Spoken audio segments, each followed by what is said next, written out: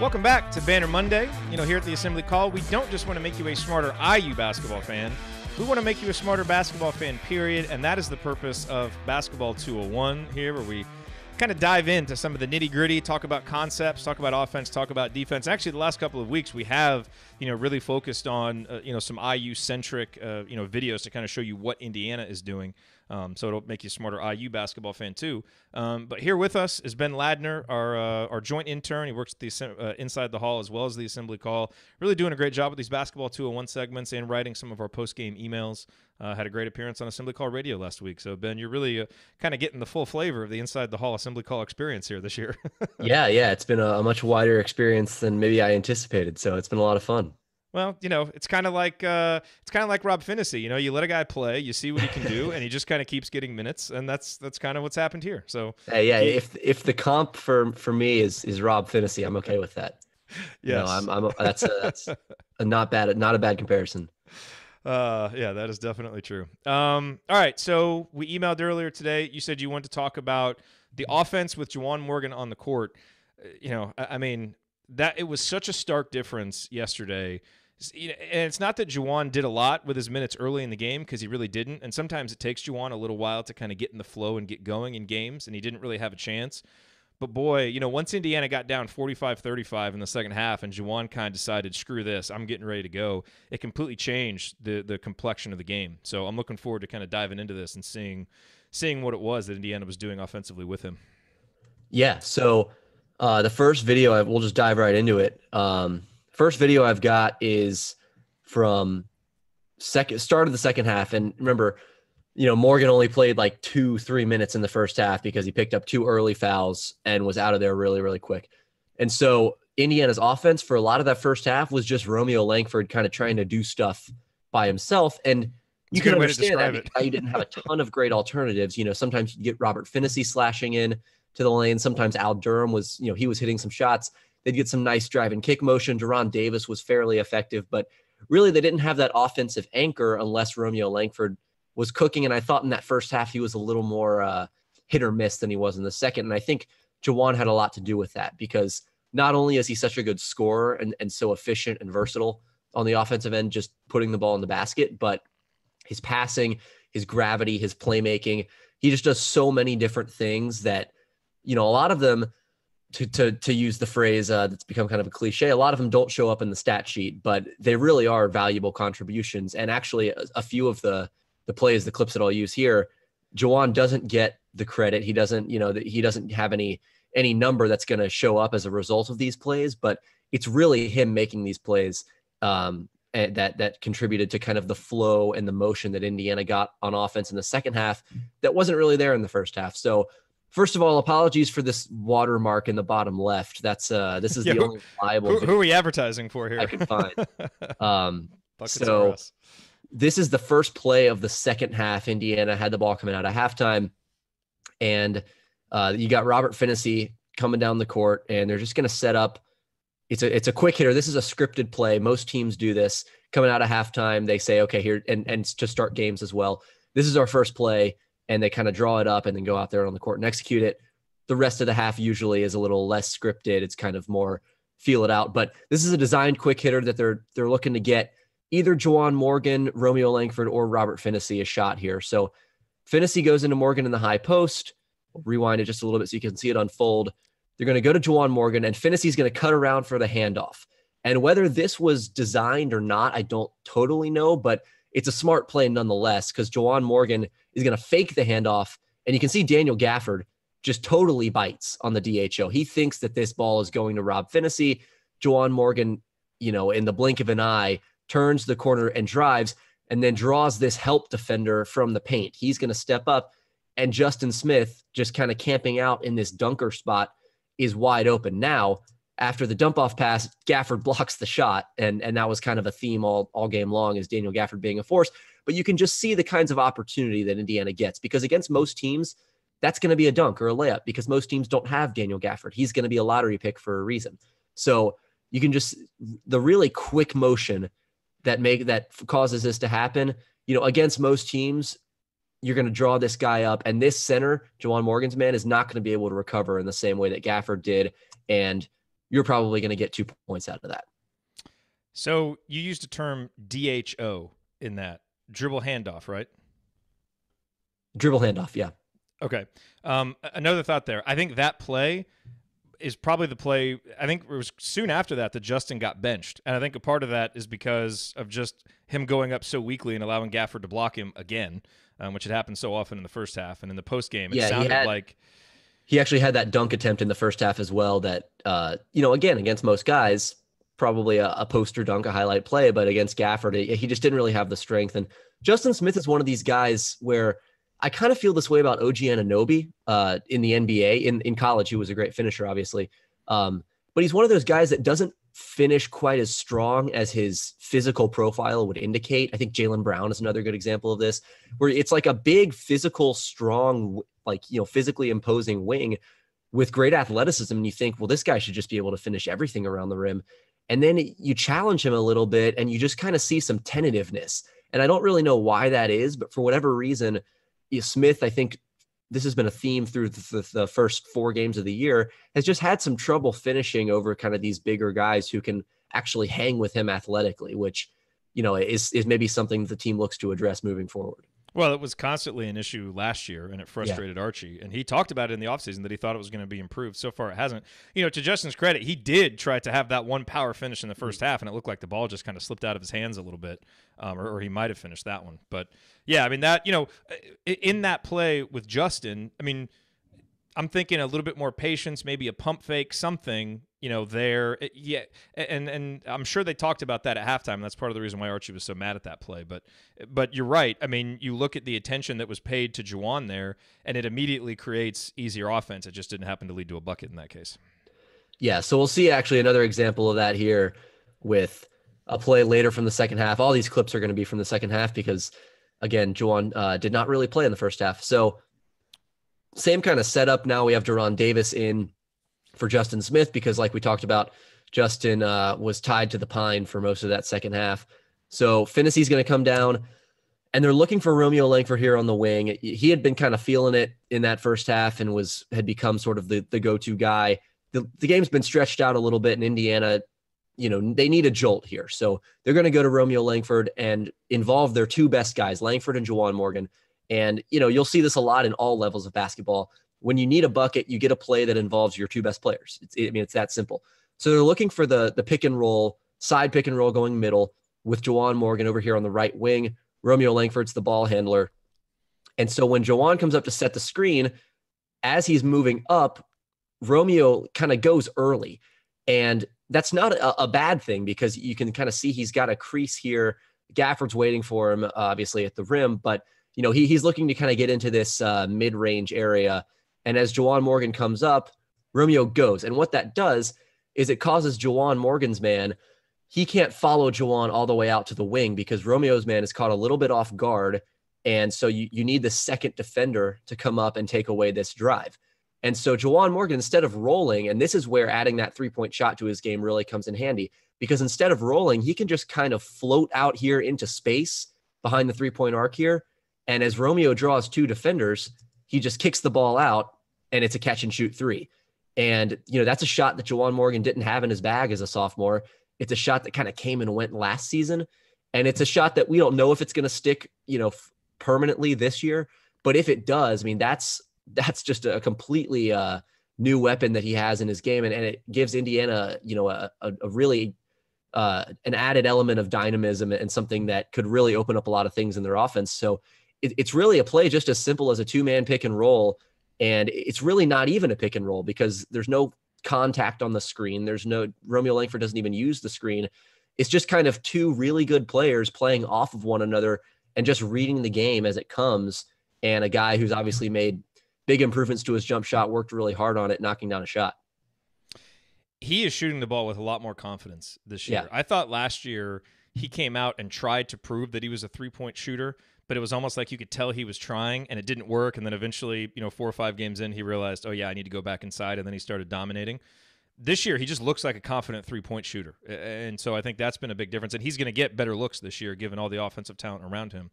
So yeah, why... and I, I, think he also knows too that if he wants to get drafted this year, and, and this obviously isn't his primary concern because you're focused on the season and winning at the college level. But you know, it's got to be somewhere in the back of his mind that if he wants to play at the NBA level, he probably needs to shoot that jump shot at a decent rate. And so, you know, that that can be a big motivating factor for a guy who after this season isn't going to have any more time left in college and really needs to prove it this year.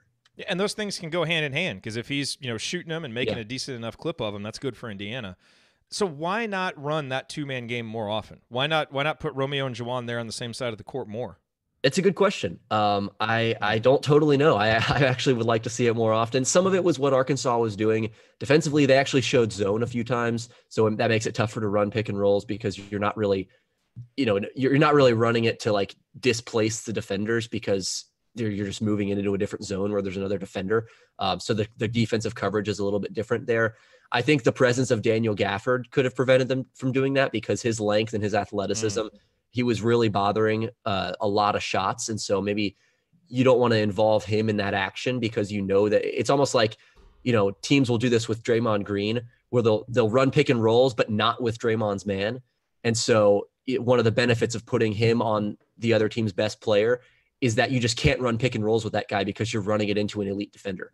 And so uh, that part that could have played a role in this, but I'm with you. I, I would have liked to have seen a little bit more of this, especially with De'Ron Davis on the floor because then Gafford's not guarding Juwan Morgan. You can, you know, go at weaker defenders and kind of create some more space in that sense. But, you know, also I think another reason could be that, you know, Juwan really had it rolling in the post. I mean, he was really effective there, finding guys. The next clip I'm going to show is him kind of passing out of the post, being a playmaker from there. And he's obviously an effective scorer in the post. And then the maybe the, the third reason is that that press that Arkansas was running was really speeding Indiana up. Yeah. And so a lot of the time their possessions were just come down kind of probe and semi transition and shoot a quick shot. And so they weren't really getting into their half court offense quite as much as maybe Archie Miller would have liked. Makes sense. So this next clip is, like I said, passing out of the post. We've got Juwan Morgan down here on the right block. Rob Phinisee is going to enter the ball. Spaced floor, well, sort of spaced floor. De'Ron Davis is over here on the opposite block. Al Durham, Romeo Langford spotting up on the opposite side of the floor. So Phinisee is going to enter the ball and Morgan faces up. He's not going to back down. He, he faces right up. But right as he's putting down that first dribble, Phinisee's man comes over on the double. Quick double. They they know that Morgan is, you know, an elite scorer and they want to get the ball out of his hands. So what he does, he reads it immediately and he he sees the double team coming. He takes that first dribble and right away goes to Rob Phinisee on the on the perimeter. Really good read. Quick swing pass to Al Durham and that that double team creates a vacuum out on the perimeter because Durham's man has to step up and take Phinisee.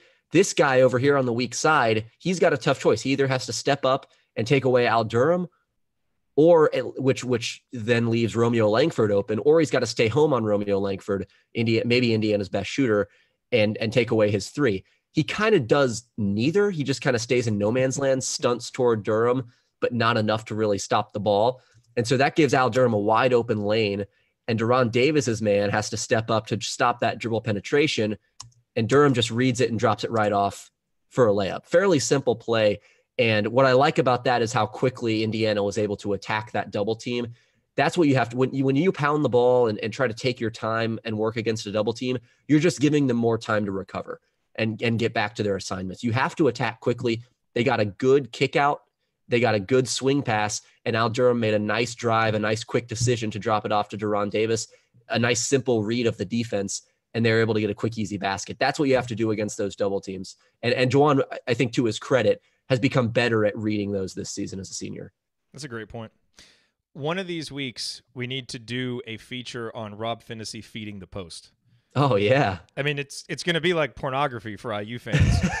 especially after the last decade of watching guys try to feed the post and not be very good at it. Yeah. But he's he's consistently good at it. I mean, he makes the simple passes and he also what I love about it, sorry, this is a total tangent, but it just made me think of it, is how he will dribble himself into position to be able to make a better post pass. Like his understanding of that as a freshman. So let's let's mark that down because I think one of these yeah. weeks we should do uh, we should do a That's what it's all about. It's just it's it's just about creating the angle. You know, I think yeah 50 to 70% of turnovers on on post entries are not due to anything the defense is doing really it's just it's just trying to make a pass from an angle that isn't conducive to feeding the post so yeah that's a great point is is creating that angle and you can also do that in in a variety of ways. You know, you can swing the ball, you can dribble the ball. Uh, it, it can depend on how the the guy posting up is positioned, and you can you can either have him move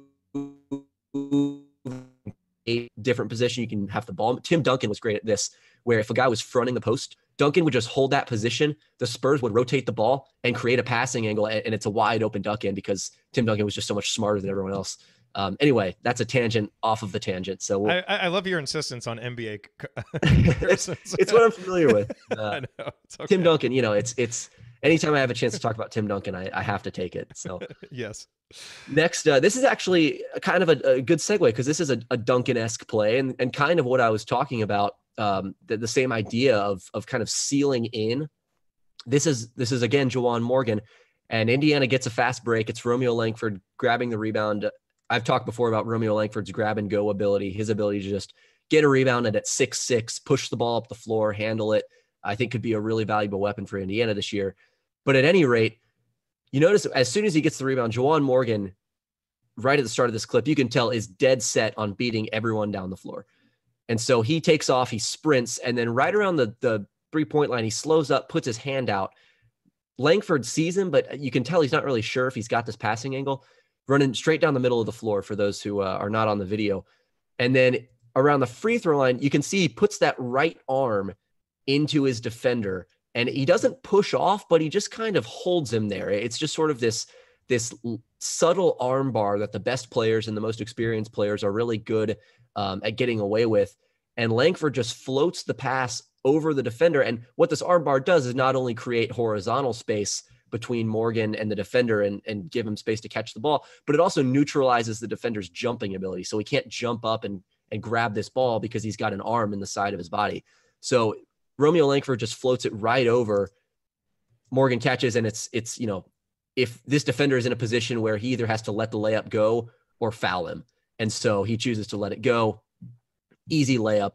Um, that's the kind of thing where you can you can look to do that maybe two three times a game just get that early offense the early seal when your big man beats everyone down the floor you know if he just posts up right away and gets that early seal. And, and sometimes it'll be in the form of a duck in where he'll, you'll, you'll get them right around the charge circle and just seal someone underneath the basket early on in a possession.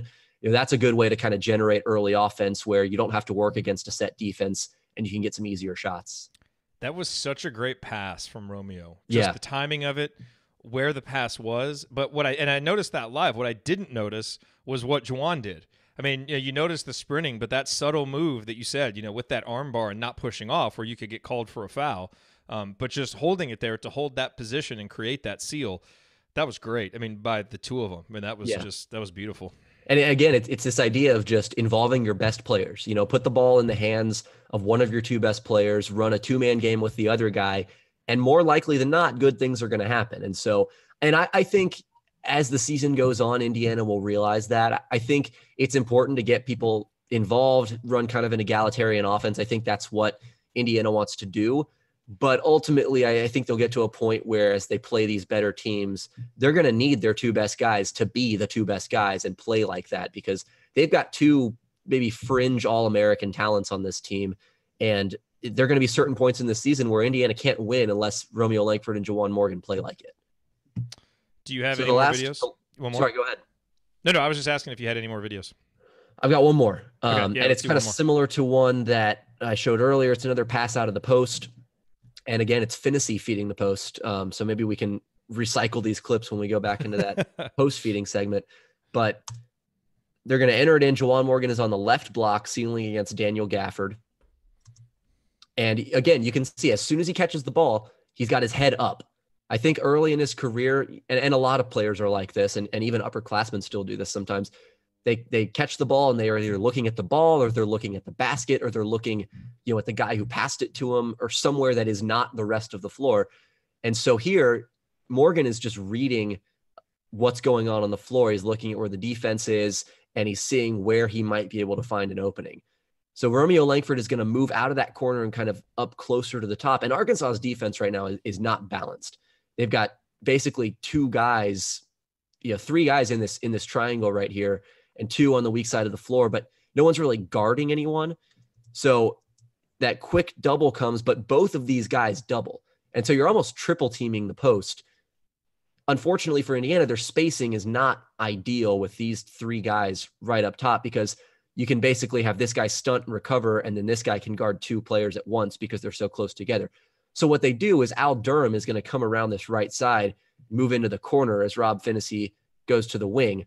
Morgan keeping the ball away from the defense takes the one dribble still with his head up, and notice Durham kind of coming through here to the the right corner, and Morgan's just going to throw a beautiful pass through the defense to the opposite corner. And that's where the double team hurts Arkansas because now that Indiana has spaced the floor and they're able to spread these guys out, this defender who was guarding Rob Phinisee has to move over and take Al Durham. Otherwise, it's a wide open corner three. And so Durham, again, uh, like he did a couple clips ago with with that nice feed to Davis, he just reads the defense, makes a simple play, swing pass to Rob Phinisee, who hits a clutch three and ties the game with under a minute left. So this was this is uh, one of the ways that Indiana was hurting Arkansas down the stretch. And I think again, one of the big improvements that Juwan Morgan has made is just when teams double team him, he is able to just punish them. And I don't think that's a pass that he sees a year ago. It's definitely not a pass that he sees when he's a sophomore. I think this is these these are things that he's added to his game over his career, and it's been really really fun to watch him kind of add these multiple levels to his game uh, as as he's matured and gotten better as a player. And I think this season, I, I mentioned it on um, I think it was last week's Basketball 201, but the, the thing that I'm most interested to see from Juwan Morgan this year is how he improves as a playmaker and how Indiana uses him as such because he's going to command double teams in the post you know he's he's going to be able to do those kind of fake DHOs that that we saw earlier. He's going to be able to attack in a lot of different ways, and he's going to draw a lot of defensive defensive attention. And so, you know, is he a good enough passer and a smart enough player to find open guys and to catalyze the offense by moving the ball rather than just scoring it?